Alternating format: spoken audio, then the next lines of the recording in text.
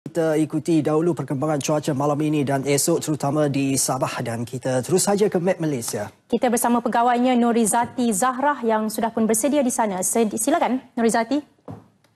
Terima kasih Ivan dan Hani di Angkasa Puri. Assalamualaikum dan salam sejahtera penonton sekalian. Baiklah saudara, cuti sekolah telah pun bermula dan pastinya ramai di antara anda yang merancang untuk membawa keluarga bercuti di kampung halaman. Untuk makluman anda, bagi mereka yang merancang untuk kebahagiaan utara, negeri Perlis dan Kedah ketika ini sedang mengalami cuaca kering dengan terdapat banyak kawasan-kawasan di kedua-dua buah negeri sudah lebih dua minggu tidak menerima hujan. Situasi kering yang berlanjutan ini telah menyebabkan peningkatan peningkatan suhu maksimum harian dicatatkan di beberapa buah stesen lebih tinggi daripada biasa iaitu melebihi 35 darjah Celsius. Situasi ini telah menyebabkan terdapat satu kawasan di negeri Kedah ketika ini telah pun diletakkan di bawah pengawasan tahap satu berjaga-jaga bagi menghadapi gelombang haba. Daerah berkenaan adalah daerah Sik di bahagian pedalaman negeri Kedah. Untuk maklumat anda, takrifan gelombang haba di kawasan negara kita adalah merujuk kepada situasi cuaca kering yang berlanjutan selama beberapa hari dan suhu maksimum harian pula mencatatkan bacaan melebihi 37 darjah Celsius untuk tempoh 3 hari secara berterusan manakala tahap 1 ini pula merujuk kepada kawasan yang mencatatkan bacaan suhu maksimum harian melebihi 35 darjah Celsius untuk tempoh sekurang-kurangnya 3 hari berturut-turut.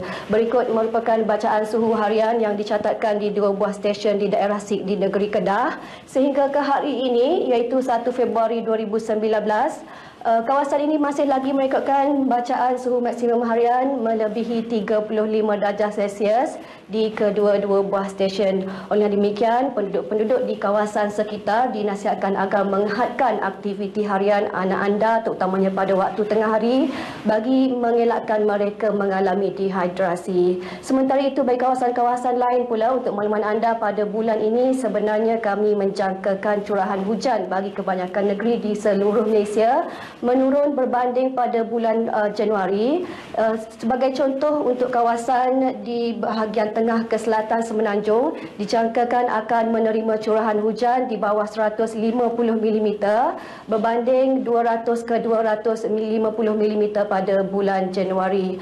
Sekiranya uh, untuk bahagian utara pula sekiranya pada bulan Januari kawasan-kawasan ini mengalami hari tanpa hujan lebih banyak berbanding hari hujan. Situasi berkenaan dijangkakan akan berterusan pada bulan ini dengan jangkaan curahan hujan di bahagian utara adalah di bawah 100 mm sama seperti bulan 1 baru-baru ini.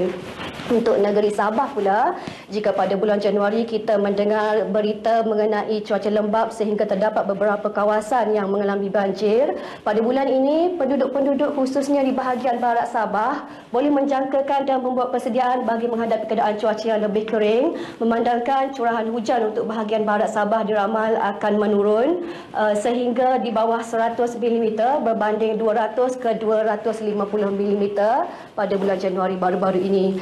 Sementara itu untuk Sarawak pula merupakan satu-satunya negeri yang dijangkakan menerima curahan hujan yang tinggi pada bulan ini dengan cuaca yang lembap diramal akan tertumpu di bahagian barat Sabah melibatkan bahagian Kuching dan juga bahagian Semarahan. Curahan hujan bagi kawasan yang berwarna biru dijangkakan sekitar 400 ke 500 mm.